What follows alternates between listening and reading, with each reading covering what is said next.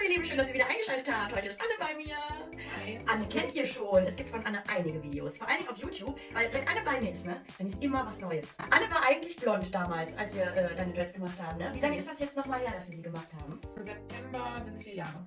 Guck mal, vier Jahre. Wenn ihr bei der Neuerstellung rausgeht, sind eure Dreads noch lange, lange, lange nicht fertig. Du kannst es auch auch aus deiner Erfahrung sagen, oder? Wie krass haben sich deine Dreads verändert? Ja, ich bin total. Als ich äh, den erst, das erste Mal bei dir war, bin ich gegangen und war gehäkelt. Das hat sich, also das dauert seine Zeit, aber das ist ein Prozess. Aber ich finde jetzt mittlerweile sind sie gefilzt und Ja. richtig schön und entwickeln sich. Genau, das ist nämlich äh, richtig ausgedrückt eigentlich. Man ist erst immer so gehäkelt und irgendwann filzt es sich dann. Klar, man häkelt auch immer noch weiter, um das alles ab auszufeilen, damit es vernünftig bleibt und schön bleibt ne? und ordentlich. So, mittlerweile hat Anne hier äh, rot gefärbt. Was ist das? Ist das Henna tatsächlich gewesen? Äh, genau, das ist äh, Pflanzenfarbe. Kali habe ich genommen, weil ähm, die, finde, das Pulver ein bisschen feiner ist. Und Ja. ich hatte ein bisschen Bedenken ähm, mit der Pflanzenfarbe, dass ich die aus den Dreads nicht mehr gut rausgewaschen kriege. Hätte ich bei dem normalen Henna auch, muss ich sagen, weil das ist ein bisschen gröber, richtig? Genau, das, äh, also ich hatte ganz früher, das ist aber schon ewig her, habe ich auch schon mal mit Henna gefärbt aus der Apotheke. Das war so richtig, äh, richtiges Pulver und das war auch schwer ähm, rauszuwaschen. Und die Skali ist ähm, feiner von der Konsistenz, wenn man das ist auch ein Pulver, was man mit heißem Wasser anrührt, aber ähm, das ist einfach von der Konsistenz feiner und lässt sich auch gut auswaschen. Annes Dreads sind schön griffig, richtig schön trocken und, äh, ähm, also nicht ausgetrocknet, aber halt man merkt, da sind keine, wenn, wenn ihr ein Dread eindrückt ne, und das macht so, dann ist das nicht gut. dann sind da nämlich Shampoo-Reste drin und die sollten da raus. Hat Anne überhaupt nicht und äh, deine Spitzen, die blond waren, die sind auch so schön geworden. Ich zeige euch das jetzt gleich nochmal eben von Namen und äh, sag dazu auch nochmal eben was. Schaut mal, ihr lieben Zuckermäuse, hier haben wir das Ganze von hinten. Wir gehen hier natürlich gleich nochmal durch, ne? Ihr wisst ja, wie das hier läuft. Guck mal, schön die Ansätze machen, ihr werdet staunen, wie das nachher wieder aussieht. Die Extensions sind eigentlich nicht mehr dran, ne? Jetzt ist alles raus, genau. Ja. Das ist jetzt alles. Anne hat nämlich ganz äh, fleißig einfach ihr Blond rauswachsen lassen. Das ist quasi der Ansatz hier. Und das ist, was noch übrig geblieben ist, äh, zuletzt an blonden Dreads. Und jetzt ist es natürlich gefärbt. Auf der Kamera sieht das aus wie ein Gelb. Ist es gar nicht. Es ist ein Orange. Ähm, vielleicht seht ihr es so besser. Das, was ihr hier so seht, das ist äh, dieses Dunkle. So sieht es wirklich eher aus. Anne Dreads sind übrigens mit einer 1er Nadel äh, von mir erstellt worden damals. Äh, wir machen seit Jahren die Durchziehmethode. Was sagst du dazu so, wegen diesen äh, An Anwendungen bei deinen Dreads? Also es ist super. Äh, ich mache zu Hause nicht viel, also so gut wie gar nichts. Also waschen und ein bisschen feinholen mal. Und mir ist noch nie ein Dread irgendwie gerissen oder abgebrochen oder sonstiges. Einser Nadel äh, macht auch keine Löcher, so wie böse Zungen immer behaupten. Das ist alles Quatsch.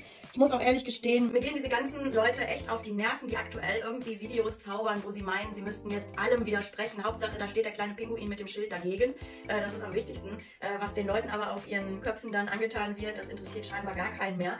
Mm, Deswegen, äh, man kann nicht jeden retten, man kann auch nicht jedem helfen. Ähm, wer meine Videos schaut, der sieht ja, was ich euch erkläre, was ich euch zeige, was die Schäden von so kleinen Nadeln, wenn derjenige keine Ahnung hat, da anrichten. Und ähm, auch dieses Verteufeln der Durchziehmethode, wenn es euch nicht passt, dann lasst es halt einfach. Aber die Erfahrung zeigt halt, dass sie lange hält, dass die Dreads sich gut entwickeln und dass dieses ganze Geschwalle von wegen Durchziehstellen und Löcher und dünne Ansätze, wisst ihr, ich kann das nicht mehr. Es ist einfach, ich, ne, es ist irgendwann auch durch das Thema. ne? Man kann es auch nicht immer wiederholen. Ähm, ja, und meine Kunden haben es ja auch irgendwie äh, in der Erfahrung gesehen, was mit den Dreads passiert. Und ich finde, die Entwicklungen sind immer tipptopp. Von daher, was sollen wir machen? Ja. So, und jetzt äh, fangen wir einfach an. Genau. Lange Rede, gar keinen Sinn. Wir fangen an und sehen uns gleich wieder.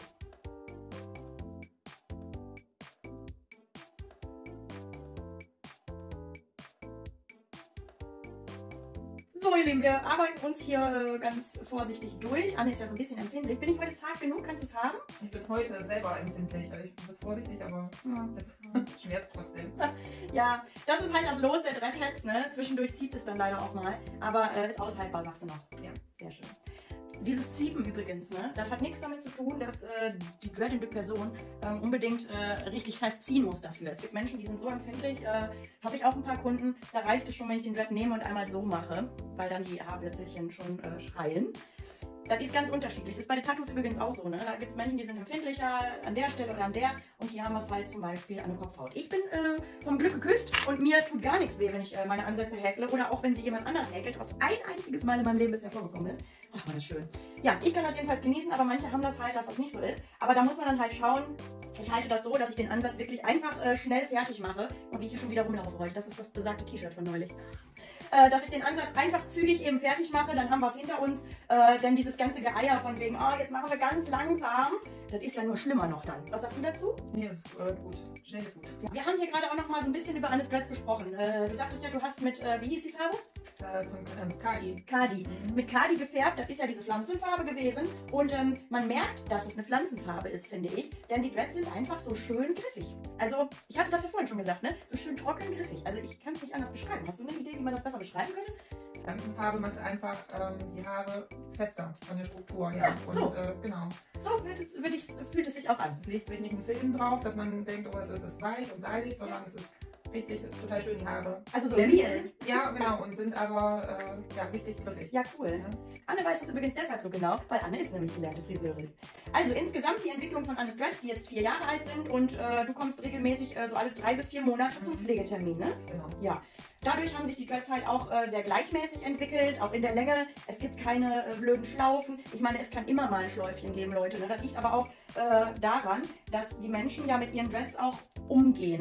Es kann nicht immer das perfekte Bild herrschen. Selbst bei mir ist zwischendurch auch mal was Kiki, wo ich mir so denke, so, oh, Chapotti, jetzt musst du aber mal wieder ein bisschen Ordnung da reinbringen.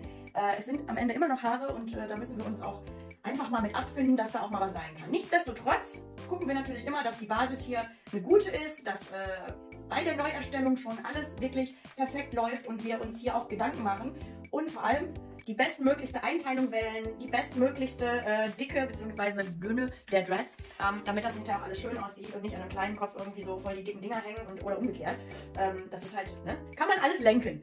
Und auch hier also eigentlich immer bei meinen Kunden, arbeite ich ja mit der Einsernadel und der Durchziehmethode. Wir hatten das ja schon mal neulich besprochen alles, ne?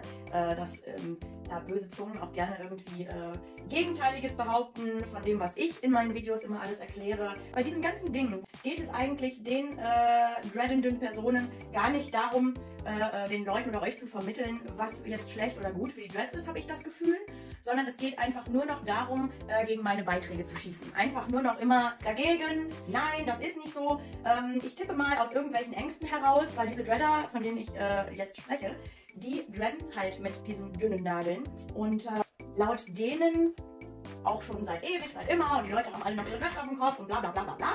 Also es ist auch ganz viel bla bla halt dabei, das ist äh, leider auch so.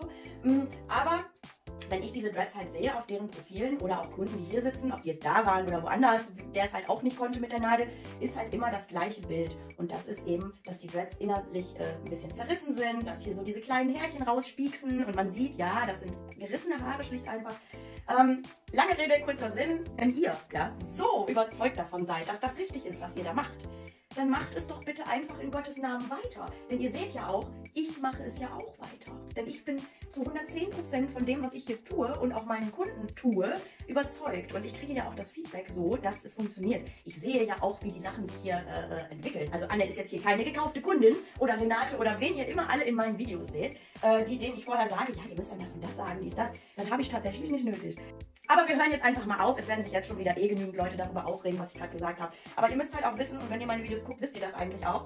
Mir ist es am Ende egal. Denn wer hierher kommt, der kriegt seine Dreads repariert, egal wo er war äh, oder nicht war oder was weiß ich war. Ähm, am Ende, ne? Ist es für mich wurscht. Ich kann nur bei meinen Kunden die beste Arbeit leisten, die ich kann und äh, die besten Tipps geben, die ich habe. Und das tue ich ja auch im Internet bei all meinen Plattformen. Und von dem her würde ich sagen, fahren wir damit ganz gut, macht alle, was er wollt und äh, ich habe nur einfach gar nicht mehr die Muße, mich irgendwie damit zu befassen. Wir werden dann ja auch von Followern diese Sachen zugeschickt. Ah, guck dir mal das Video von der an. Will ich gar nicht. Ich möchte mich nicht mit so negativem Mist befassen einfach, wisst ihr? So, und deswegen machen wir jetzt diese Dreads hier schön und zu Ende und freuen uns gleich über das Endergebnis und ihr kriegt jetzt noch einen Zeitraffer rein.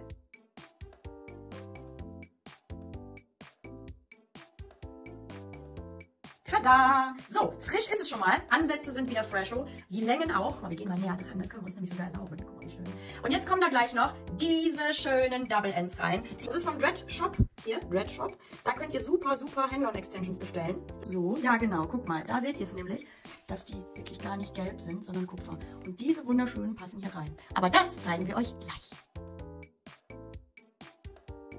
Oh, guck mal hier. Jetzt seht ihr das auch mal im Licht. Der Farbverlauf der Extensions ist halt echt gut getroffen. Sagen, wir haben fertig. Du bist äh, glücklich und zufrieden, denke Mega. ich. Schön, hat man dir gar nicht angesehen. ja, jetzt hat Anna wieder auf jeden Fall äh, noch mehr Volumen wieder. Insgesamt die Entwicklung toll und äh, ja, es hat einfach alles gut geklappt. Übrigens, von mir hier noch einen kleinen Tipp an dieser Stelle. Ne? Wer richtig tolle Dreads möchte, die tatsächlich mit einer 06er Nadel gehäkelt sind, ne? der muss einfach nur zu Dread Sorcery gehen. Die liebe, liebe Geraldine, die kann es nämlich wirklich mit einer 06er Nadel. Könnten sich einige was von abschneiden. In diesem Sinne, liebe Grüße, eure Schafati, heute mit Anne und wir sehen uns ganz bald wieder in meinem nächsten Video. Alles Liebe, ade. Tschüss.